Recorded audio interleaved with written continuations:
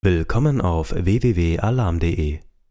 Wir freuen uns, dass Sie sich für unsere GPS-Tracker interessieren. In diesem Video stellen wir Ihnen die unterschiedlichen Varianten vor, um Ihnen die Auswahl zu erleichtern. Alle Modelle verfügen über ein Online-Portal für den Zugriff auf den Standort und vergangene Standorte. Nutzen Sie das Portal per App am Smartphone und Tablet sowie per Browser am Computer. Unser Sortiment teilt sich in akkubetriebene Tracker, batteriebetriebene Tracker, OBD2-Tracker, die über die OBD2-Schnittstelle mit dem Pkw verbunden werden, Bordnetz-Tracker und Mini-Tracker für flexible mobile Einsätze.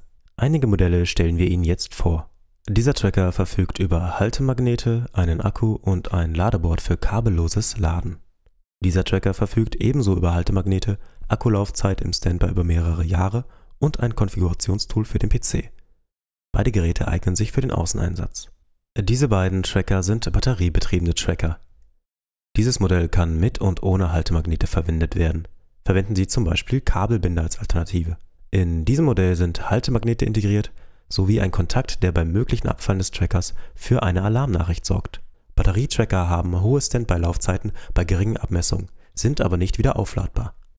Komplett unabhängig von Akkus und Batterien sind diese beiden OBD2-Tracker, die Stromversorgung erfolgt über das Fahrzeug, sodass eine dauerhafte und lückenlose Übertragung der Routen in ein Online-Portal möglich ist.